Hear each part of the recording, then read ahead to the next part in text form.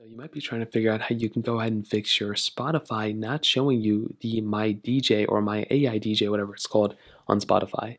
Now doing this and fixing this is pretty basic, but to first see if you have the capability, you can go and make your way over to your Spotify application. And when you come here, you might see a little music toggle at the very top left. So right here, all you want to do is go and click on music. And what's going to happen is you're going to go ahead and see a little list of music here, potentially for a lot of people.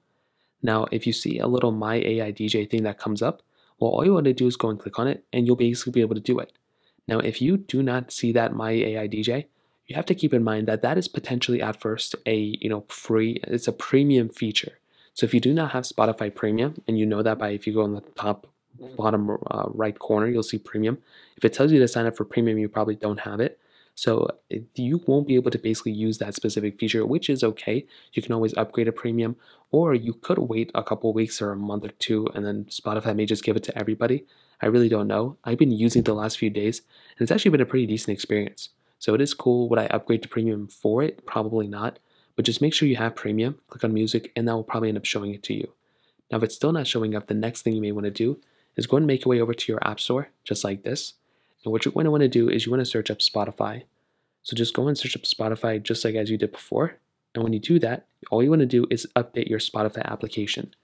So if your app hasn't been updated in a long period of time, that is pretty much going to be the main reason and main issue that you're going to have here.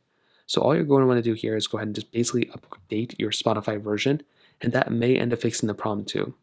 Now, if that still doesn't work, like you tried it and it's still not working, that feature may not just be out in your area. So once you have it upgraded, you can always click on your profile here. You might see that My AI DJ thing. If not, you're pretty much just going to have to go through and just wait until it's available in your area, which shouldn't be too long, and then you should be able to go and use that feature afterwards. So that is pretty much how it's done. If you have any other thoughts or questions, let me know in the comment section below. Hit the like button, would mean so much, but definitely hit that subscribe button. More importantly than everything else, I love every single one of you guys. Hopefully I'll catch you guys in the next video. Peace out.